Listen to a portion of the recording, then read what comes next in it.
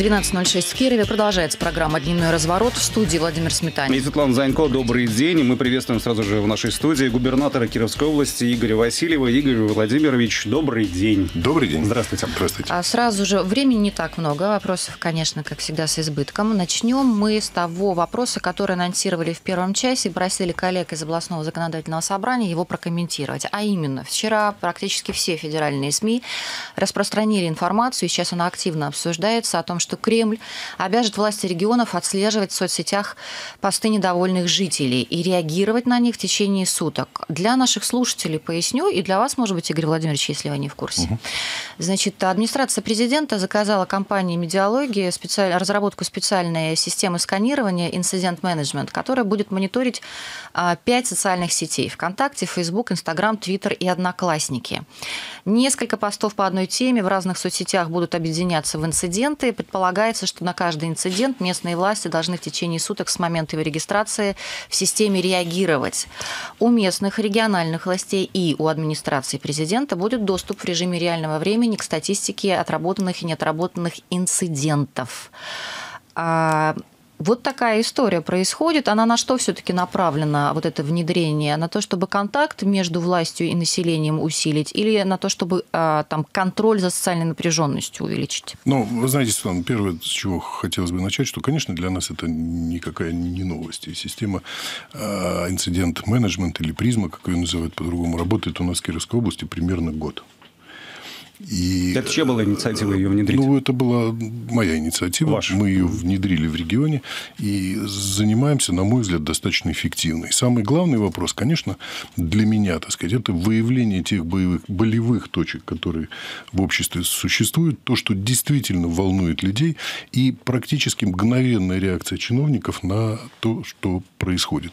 Здесь нужно понимать, наверное, что мы не можем в течение там, суток или часа, так сказать, исправить а, ситуацию, на которую жалуются люди, но прореагировать на нее, то, что мы не закрываемся, то, что мы знаем о ее существовании, то, что мы подключаем а, к решению этих вопросов либо городские, либо муниципальные власти, либо различные министерства, вот, наверное, основная задача. Да? То есть, основная задача сделать жизнь людей лучше и неформально, подчеркну, неформально, не с точки зрения, знаете, отправить ответ такой, ваша проблема э, услышана, ждите ответ через 30 дней, так сказать. Да? А может быть, даже в соцсетях, и я думаю, что вы, наверное, замечали такого рода, так сказать, истории, когда э, происходит ответ непосредственно человеку, который опубликовал пост той или иной социальной сети, например, на проблему с мусором, которая возникла там возле его дома. Так сказать, да? И когда эта ситуация ликвидирована, ответственные за это сотрудники делают фотографию, отправляют и делают это публичным. Поэтому э, эта система работает, готов вас с ней познакомить, если это будет интересно. Она действительно интересно. крайне эффективна.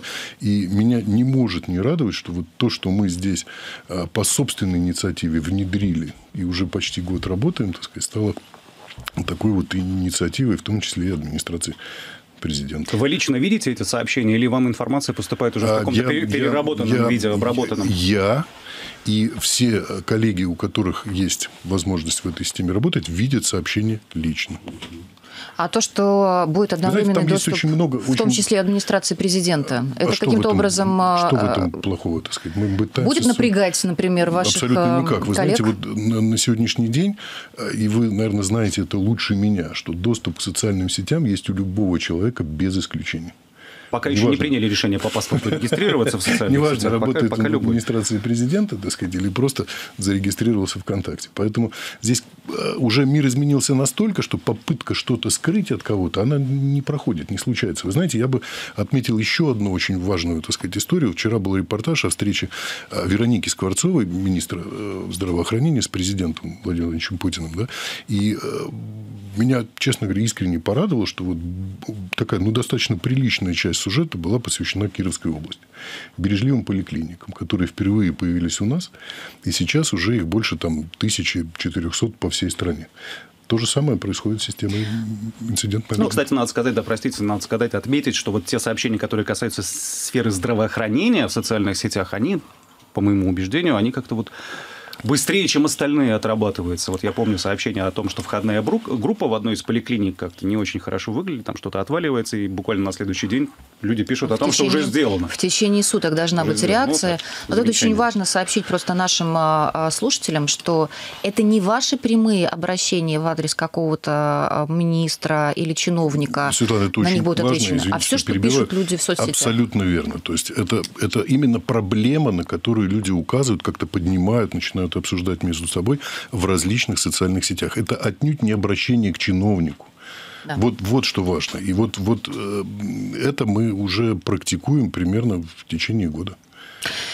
Да, Игорь Васильев, губернатор Кировской области, а, у нас в студии сейчас. Еще к новым а, обозначенным трендам а, на недавнем урбанистическом форуме, который вот только что завершился в Москве, Московский урбанистический форум, президент Владимир Владимирович Путин выступал на, пленарном, на пленарной сессии, и он сказал следующее, что касается развития городов. Ну, во-первых, конечно, Владимир Владимирович делал акцент, что современные стандарты, мировые стандарты, должны быть спущены на российскую землю. Конечно же, два города звучало постоянно у спикеров, это Москва и Казань. Угу. Не Петербург, не Сочи, Москва угу. и Казань. Но... Можно я скажу свое заветное да, желание, чтобы добавился третий город, да? Вы знаете, как он должен называться. Это и наше, Киров, да. Это и наше, конечно. Вот что он сказал. Значит, мы намерены реализовать масштабную программу пространственного развития России, преобразить наши большие и малые города, обустроить инфраструктуру сельских территорий, использовать для этого потенциал передовых технологий, новые архитектурные управленческие решения. Для этого предлагаю подумать на тему, когда Владимир Владимирович говорит, предлагаю подумать, мы понимаем, что это значит сделать, чтобы запустить механизмы конкуренции региональных и муниципальных властей в создании комфортных, лучших условий для жизни людей, предусмотреть здесь стимулы для эффективных управленческих команд и, конечно, четкие стандарты, критерии качества работы. В первую очередь это касается обустройства городов. Вот этот конкурс, который Владимир Владимирович а, предлагает запустить, и вот эти стимулы для эффективных управленческих команд – это ну, что за, э, за собой влечет? Мы знаем, что введение новых стандартов очень часто натыкается на противодействие тем, кто очень давно уже на своих местах, и эти новые стандарты не спешит усваивать. Светлана, наверное, есть, есть и такое сопротивление, безусловно. Но, вы знаете, я что хотел бы сказать, что у нас очень много механизмов, которые уже сейчас доступны, в том числе и э, на муниципальном уровне. Скажем, ну, такое вот самое, там, одно из известных, да, это фонд развития моногородов, который регулярно проводит обучение решения, часть, э, в том числе и глав наших муниципалитетов, да, участвует, участвует неформально. И есть достаточно серьезные сдвиги. Я бы сейчас хотел привести пример э, города Амутнинска на прошлой неделе э, был День металлурга, я был с визитом в Мутнинске, и нам презентовали такую, на мой взгляд, очень интересную программу развития города, которая сопряжена с развитием градообразующего предприятия. Там буквально до копейки посчитаны средства, которые необходимы в ближайшие э, пять лет на развитие городской инфраструктуры, на модернизацию предприятия, так сказать. И когда понимаешь то, что градообразующее предприятие начинает всерьез заботиться о социальной сфере, понимая, что не будет социальной сферы, не будет комфортных условий а, проживания, о чем и говорит президент, некому будет работать на предприятии. И грамотная управленческая команда муниципалитета, подключаясь к такого рода проекту, как раз и создает вот тот самый эффект, о котором мы с вами говорим.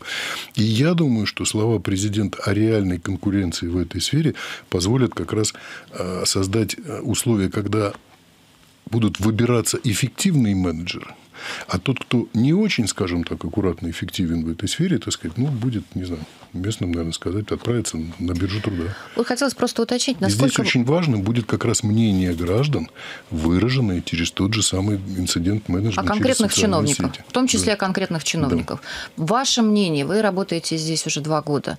А, ваша оценка, а, хотелось бы, чтобы она достаточно критической была, а, в отношении компетенции и желания как раз усваивать новые компетенции команд администрации различных городов области. А нас, конечно, больше Киров интересует мы здесь находимся? Ну, вы знаете, вот э, я что хочу сказать, что мы с вами только что упоминали э, Амутнинск. Разработана прекрасная, на мой взгляд, программа, адекватная вполне руководство муниципалитета. Я знаю, что Кирово-Чепецкие главы активно принимают участие в э, обучении, так сказать, внедряют передовые методы управления, в том числе Белая Холуница, кстати, у нас, я вот для всех хочу сказать, а, второй город, который получил статус территории, опережающего социально-экономического развития на прошлой неделе, это стал Белая Холуница.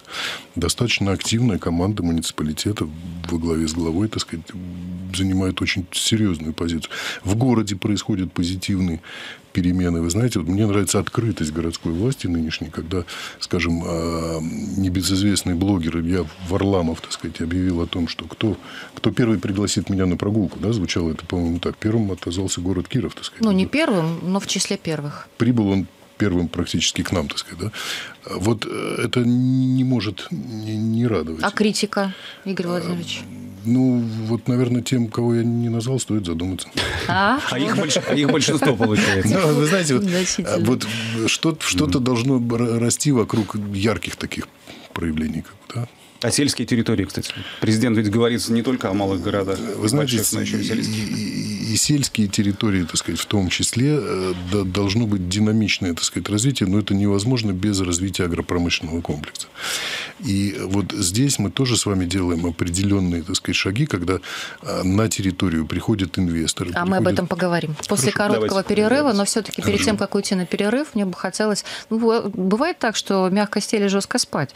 Все-таки вы сейчас никого не ругаете и особо таких каких-то а, а, знаете, пальцем не грозите в сторону тех э, чиновников, которые у нас, у нас, не наверное, слишком расторопны. У нас, наверное, не, нет сейчас задачи, так сказать, в публичном пространстве э, грозить кому-то пальцем. Для этого есть совершенно другой, другой, другой формат.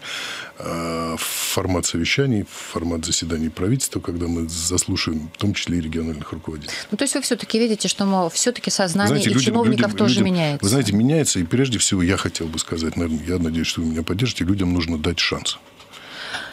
В том Игорь числе Васильев, поработать в новых условиях. Губернатор Кировской области. Прервемся на полминуты и продолжим.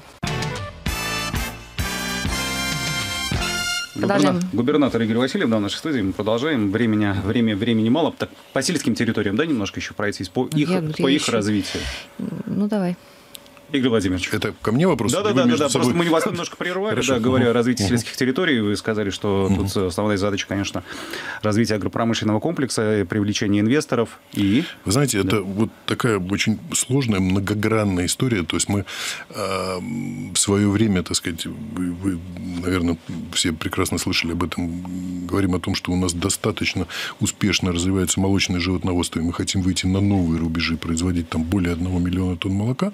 Это эта программа э, объявлена, мы ею занимаемся, мы привлекаем инвесторов. Она состоит из очень многих, так сказать, составляющих. Это и вовлечение земель в оборот, это строительство новых ферм. Вот сейчас э, стартовало строительство э, Дороничи, агрофирма строит в поселке Нема на 3600 голов, одну из крупнейших, так сказать, фирм Российской Федерации. Село Архангельское, да. Да, в Малмышском районе, так сказать, заходят инвесторы, которые будут, я надеюсь, так сказать, строить примерно такую же. На очереди введение в строй перерабатывающих предприятий, но хочу сказать, что ничего этого невозможно без социального развития села, без открытия фельдшерско-акушерских пунктов, без э, строительства школ нового формата, о котором мы как-то с вами в передаче говорили, что они должны стать досуговым, культурным центром, в том числе и для взрослого населения. Вот все это как раз и, и, и входит в программу. И здесь, конечно, очень большую роль, э, наверное, нам всем с вами нужно отвести и главам муниципальных образований, раз уж мы к этому вернулись, так сказать, поскольку все-таки... Человеческий фактор Совершенно человеческий фактор. Это, наверное, самое главное. Да. Всегда во главе должны быть люди, которые, ну, глаза горят, так сказать, есть желание развивать собственную территорию, есть желание учиться прежде всего, есть желание смотреть, как это устроено. Вот вы там мы до передачи с вами говорили, и уже сейчас в процессе об урбанистическом форуме, который проходит в Москве, вы говорили о том, что вы увидели очень много интересных вещей, которые происходят в Подмосковье, в Москве, так сказать, в Новой Москве. Вот, вот это желание должно быть прежде всего. Мало того, я на урбанистическом на... форуме, Игорь да. Владимирович, простите, я видела очень много представителей э, и глав городов, угу. и мелких муниципалитетов из страны. Кировских не встречала. Вот ну, не на одном, из которых я вот была в Москве. Я встречал там Илью Вячеславовича Шульгина. Не в этот наверное, раз. В этот раз. Он собирался, но Наверное, просто... мы с вами чуть-чуть разошлись, так сказать. Да? Но вот абсолютно справедливое замечание. Хотелось бы увидеть большее количество людей, которые интересуются успешным опытом. Потому что, ну, во-первых, нужно учиться на чужих ошибках. Это совершенно понятная истина.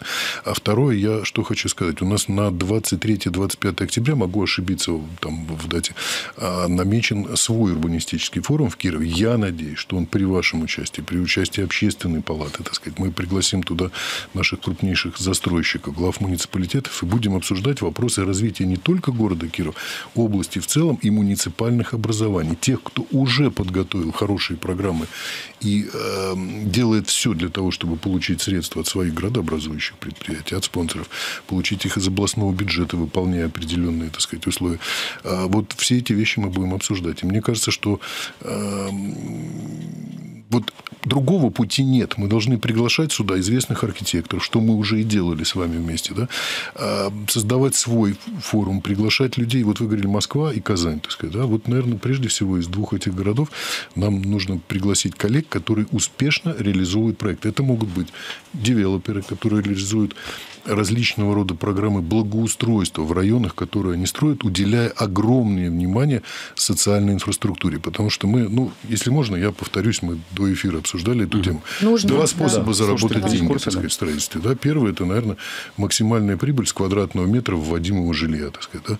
а вторая история, то есть это создание комфортной городской среды, управление этой средой и получение той же самой прибыли, ну, несколько растянутой во времени. Да? Мы понимаем, о чем мы говорим. Так сказать, да? Это возможность работы грамотных, ответственных управляющих компаний, которые а, будут управлять тем комплексом, который создан. И, честно говоря, а, жилье без социальной инфраструктуры, наверное, и продается плохо, и цена у него соответствующая. Так сказать, да? И дальше мы с вами все вместе становимся свидетелями жалоб людей. Построили огромный микрорайон, школы нет, поликлиники нет, детского сада нет. Но, к сожалению, люди это начинают осознавать тогда, когда они уже приняли решение квадратные метры приобретены. Знаете, уже. здесь, здесь, наверное, очень многофакторная история. И доходы людей, которые не позволяют им сегодня платить большие деньги, так сказать, жилью, отсутствие инвестиционной составляющей во многих а, объектах, когда стоимость, скажем, в стоимость квадратного метра включаются объекты социальной инфраструктуры. Но здесь, опять же, вот от двух способов зарабатывания. Много и сейчас, или примерно столько же, но растянутые во времени, создавая комфортную городскую среду, создавая инфраструктуру. Видите ли вы, что меняется сознание кировских застройщиков? Потому что у нас было здесь не один эфир проведен, а угу. кто-то из них говорил, да, мы собираемся работать в долгую, поэтому мы делаем благоустройство, поэтому мы создаем комьюнити и сами с ним работаем. А были застройщики, которые категоричную здесь, а, наверное, позицию занимали, ключевое слово что были. я строю дом, вот. а муниципалитет пускай делает дороги и площадки. Хотелось бы, чтобы ключевое слово вот во всей этой истории по отношению к таким застройщикам, э, вот Есть. Вы сами сказали, были. А появились другие люди, которые действительно ответственно относятся к той территории, на которой они проживают, и проживают их дети.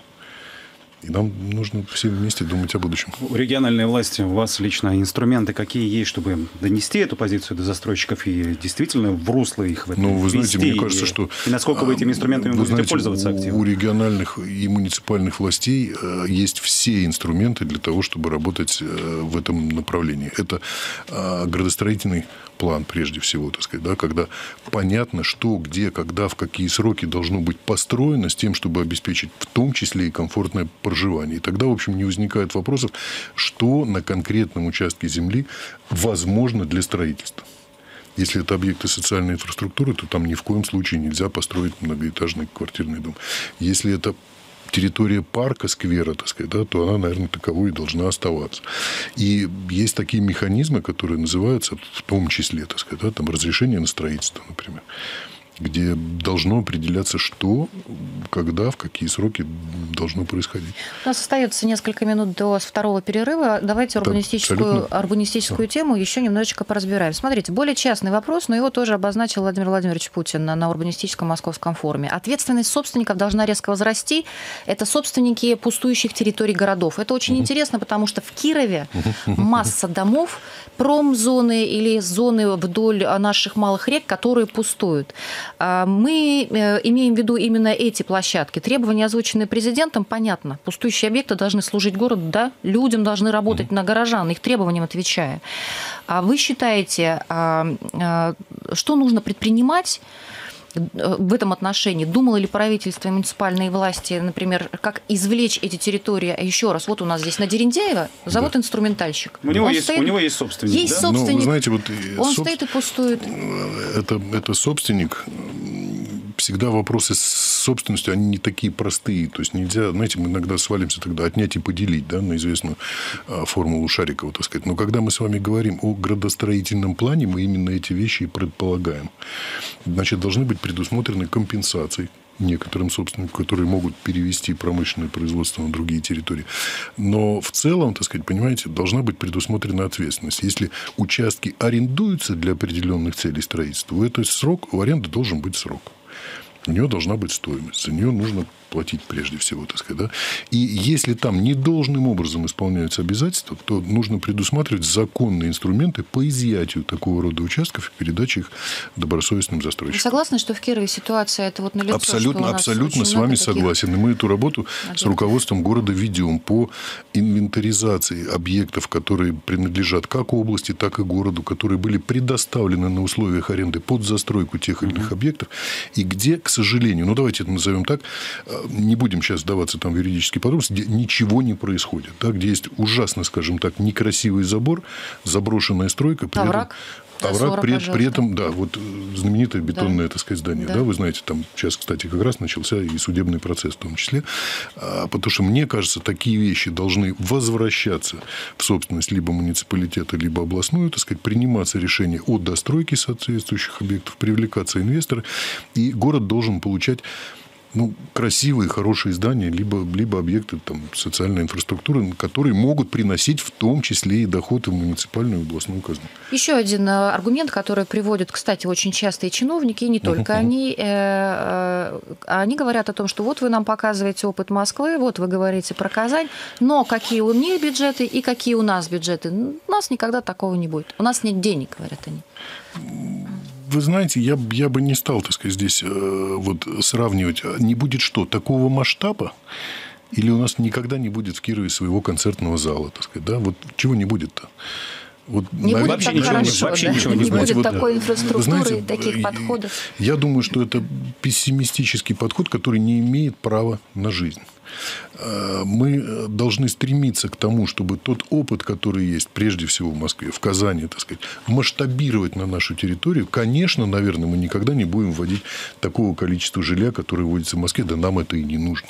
Но применять те технологические решения, которые оправдали себя в Москве, которые оправдали себя в Казани, а в Казани, скажем, оправдали себя привлечение на территорию э, города, столицы региона огромного количества мероприятий, которые там проходят. Это началось с тысячелетия, продолжилось универсиадой, и сейчас Казань проводит в неделю, наверное, столько мероприятий, которые, к сожалению, Кировская область не проводит за несколько лет. Вот нам эту тенденцию нужно прежде всего ломать. И мы с вами стараемся это делать. Мы приглашаем сюда известных актеров, известных музыкантов. Вот приезд Гергиева, который пообещал, что он приедет на следующий год, и э, поможет нам, если мы все-таки будем, решимся, найдем средства, будем строить концертный зал с его оборудованием. Э, вот подобного рода, так сказать, мероприятия, чем больше мы их будем проводить, тем больше у нас появится опыта, тем больше будет востребовано на нашу с вами э, инфраструктуру. И я думаю, другого пути просто не существует. То есть путь Казани нам, нам ближе всего, вы считаете? Совершенно да? верно. Именно на события делать Совершенно ставку, именно на известных Совершенно личностей, верно. которых можно Совершенно приглашать. Верно. Прервемся. На полторы минуты у нас реклама и продолжим разговор с губернатором Кировской области Игорем Васильевым. Продолжаем разговор. Игорь Васильев, губернатор Кировской области. Давай про трансляцию скажем, да, еще? Что Обязательно скажем про трансляцию. Вконтакте можно э, видеть и слышать все, что мы говорили, в том числе и в перерывах. Угу. Можно сейчас подключаться к нашей группе ВКонтакте и э, видеть нашу прямую трансляцию и слышать нас. Еще раз повторяю, те обсуждения, которые вне эфира проходят, тоже вы можете слышать. Ну вот смотрите, какая интересная история. Вот э, у нас тут было запланировано много экономических тем, но мы переходим всегда на человеческие темы. Тему. И раз уж мы заговорили Редко про... приглашайте, поэтому часть, часть тем просто Экономические темы, они так или иначе мы освещаем в рамках наших других программ, а здесь хочется, конечно, об этом тоже поговорить. Тем более лето, и вы вот уже затронули вопрос, Игорь Владимирович, про событийность, да, про те мероприятия, которые проводятся в Казани. Я вот сейчас, когда была в Москве, э, я ехала в Аэроэкспрессе, потом там в метро, и где-то и везде висят вот эти информационные экраны, где это еще там, да, и общение тоже правительства с горожанами и с гостями, где все объясняется, что сегодня, где происходит, то есть афиша, сколько Совершенно пляжей оборудовано, где можно купаться, Совершенно как будет преобразовываться тот или иной район. То есть я пока ехала, я про Москву узнала столько, сколько я не там, если бы даже села за компьютер и специально стала этим заниматься день, не узнала бы вообще. Кроме того, смогла себе легко составить программу там, моего пребывания и вечернего в Москве, чтобы максимально посмотреть то, что меня интересует. И там, конечно, боже мой, э, и там можно было услышать британские э, и на неделю Италии сходить в пять мест там, в Москве и получить профессиональные там сведения. Все, что хочешь, на любой совершенно вкус. И я понимаю, что скучать тебе точно не придется, конечно, да. И вот в этом смысле меня поразили, я уже тут говорила в эфире, а, наши выходные а, июльские, особенно когда был чемпионат мира, когда у нас были а, там буквально неделю за неделей проходили рок-фестивали, открыли фан-зону мгновенно, там угу. по потребности угу. люди собирались. Как-то ты мог в один день сразу не несколько а, посетить мест и а, эмоционировать там, да, угу. чувствовать, чувствовать с людьми там себя где-то как-то, а не просто вышел из дома, прогулялся по набережной и вернулся обратно. Что вот типично, и тебя как просто вот крысу по, по кругу пускает. Ну, это, наверное, не совсем ну, ну, женский взгляд. Вот ну, такой. хорошо. Такое ну, настроение. Хорошо. Вы говорили, что культурно-развлекательные события вот должны наполнять да, нашу афишу «Жизнь горожан». Э, и уже сказали, что Гергиев собирается приехать на следующий год. А есть еще какие-то планы на остаток, может быть, года, э, свои собственные или пожелания к властям Кирова, например, что ну, Вы знаете, вот э, если по поводу своих собственных, с них, наверное, всегда проще да, обсуждать. Вот я вчера, будучи в Москве со своим старинным приятелем, который такой большой поклонник, знаток, э, большой друг Шемякина Михаила, небезызвестного, да, занимается японским искусством. И он предложил устроить у нас, вот вы сказали, неделю Италии, так сказать, там, неделю или две, как получится, так сказать, японского искусства в музее Васнецова. Мне очень понравилось. То есть, это будут и, и графюры, и какие-то изделия из кости. Может быть, приедет э, сам владелец, так сказать, всех этих историй. Вот, вот по-моему, Шемякин. интересно. Но нет, Шемякин, не знаю, будем отдельно да. договориться. Значит, смотрите, что, что мне вот здесь по поводу рекламы вы сказали. Вот э, абсолютно верно. То есть, нам и здесь нужно наводить порядок, да, в, с точки зрения рекламы. То, что город должен использовать больше рекламного пространства для рассказа рассказов о том, что происходит, это совершенно очевидно, так сказать, да. А дальше она не должна быть такой кричащей, там, ну, как, как она сейчас. Дизайн-код да. города нужно совершенно вводить. Верно, Москва совершенно, приняла и изменилась. Совершенно, совершенно изменилась сразу. изменилась и Казань, изменилось очень многие города. Вот мы только что были в Калининграде, то есть абсолютно другая картина, то есть просто радует глаз, да. Но это то, что можно сделать быстро. Вот, э, вы знаете, от, от города тоже мы, наверное, вместе с вами, так сказать, да и от общественников должны ждать таких вот серьезных, ярких ярких предложений, которые город готов поддержать. И вы видите, сейчас вот сразу же появилась потребность. Фансона была организована мгновенно. За день буквально. Несмотря даже на то, что там, ну, сейчас уже можно об этом говорить, что нужно было согласовывать там с ФИФА, еще с кем-то. Мы это сделали быстро. Но мы соблюли там все-таки Город нормы, уже умеет реагировать на, на угу. такого рода вещи. Вот, скажем, э, стрижи к нам прилетели, да, ведь это за три дня, то есть мы сложили всю эту картинку. Авиагруппа. Русские витязи. Русские витязи, прошу прощения. Стрижи – это другая Да, и это же вот такие интересные для, для, для нас, так сказать, вещи. Поэтому э, давайте мы, может быть, отдельно поговорим на эту тему. Может да, быть, соберемся и составим совершенно верно. Пригласим наших города. Э, культурных людей, как, как составить э, афишу, так сказать, города, да, как учесть разные интересы, потому что они разнонаправленные, правильно? Но то, что их должно быть, я не знаю, там в десятки, в сотни раз больше, это, мне кажется, обсуждению это даже и, и не подлежит. Но вот здесь мне представляется, что должна быть еще такая очень серьезная роль общественных организаций в том числе, так сказать, да, то есть предлагать свои темы, предлагать свои, в том числе организаторские. Мы говорим люди, да, все время нужны люди. Где их подобрать? Вот как можно большее количество неразнодушных людей, которые будут проводить там самые разные, так сказать, фестивали. Там наряду с Гренландией должно появиться еще много, так сказать, историй. Ну, а современный концертный-то зал, Игорь Владимирович, а о, вы котором, знаете, вот который, я... о котором Если мы решимся упомянули, говорили, да, да. и о котором я давно вот уже говорили. Так вот э, сказал бы, я знаю, город будет, я знаю саду цвесть, когда вот такие люди вот в Кировской области есть, да. А мы посмотрели сейчас в Калининграде очень приличный проект вот в Светлогорске, где проходила команда КВН наша. Вы хотели напоследок об этом спросить, ну, ладно. Очень, очень хороший концертный зал за угу. достаточно разумные, так сказать, деньги. Я думаю, что мы сейчас будем а, пытаться этот проект получить и локализовать его где-то в Кирове. На это, конечно, нужно время. Но это хороший зал на 2500 мест. Это уже возможность приглашать любого уровня, так сказать, коллектива, да, когда он современно оснащен. Ну, а по КВНу, я два слова буквально скажу, у нас наконец-то появляется... Только не разочаровывайте зрителей, пока еще эфира я не, было. Буду, эфира, я, там, не будем все, все только в эфире. Мы Или не, радовать. Почему, почему, почему разочаровывать? Там никого не надо разочаровывать. Но нужно радоваться тому, что у нас есть талантливые люди, тому, что у нас есть такая команда, и у нас а, появился, наконец-то, у них собственный дом во Дворце молодежи. Такой вот, давайте назовем это там Дворцом КВН. Не, я думал, вы о результатах игры Светлогорска. А я не, не, надо, я не, не знаю надо, результатов. Их же покажут по телевизору. Да. Зачем Да. мы будем, так сказать. А Вот. А, там наша команда в полуфинал вышла. На днях будет э, полуфинальная игра. А, И я надеюсь, что у нас появится здесь э, состязание КВНовские. Это, это же всегда весело, интересно. Это энергичные люди. Вот, Зачем быть- вы сделали членов команды КВН своими советниками и корочки им вручили?